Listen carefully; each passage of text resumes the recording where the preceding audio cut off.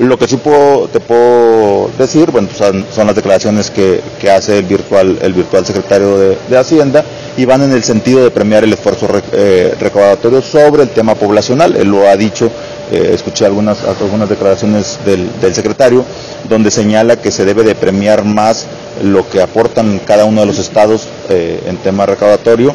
eh, en lugar de premiar el número de habitantes que, tiene, es decir, que, tenga más habitantes, pues obviamente tiene que trabajar más para recaudar más y que, y que, y que puedan aportar más al país. En ese sentido, y bajo y, y leyendo esas líneas, pues dice que no habrá eh, grandes reformas en, temas de convenios de colaboración o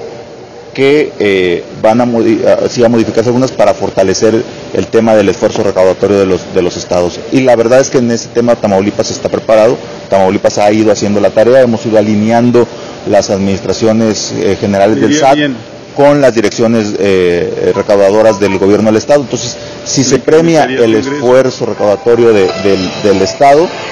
evidentemente sí le, le, le iría bien a- a Tamaulipas.